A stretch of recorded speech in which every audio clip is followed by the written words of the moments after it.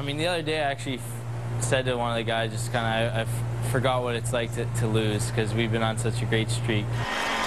Cory Conacher of the Norfolk Admirals, who yesterday was named the AHL Rookie of the Year. I'm Brian Parsons in for Bruce. The Admirals on the road up in Albany, New York. Will they will try for win number 26 in a row against the Devils. And today, yet more awards for the best team in the league. Conacher, the Rookie of the Year, named the AHL's most valuable player. Conacher, undrafted out of Canisius College, becomes the fourth rookie to win league MVP honors. He signed a two-year contract with the Tampa Bay Lightning last month.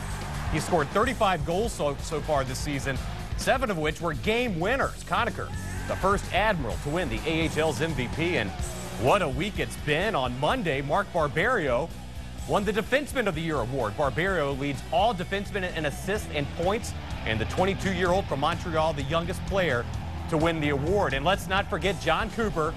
He was named AHL Coach of the Year on Monday. Coop has led the Admirals to the best record in the entire league, home ice advantage, and of course that 25-game winning streak, which the Admirals will try to extend to 26 tonight in Albany. The playoffs get underway next week at Scope.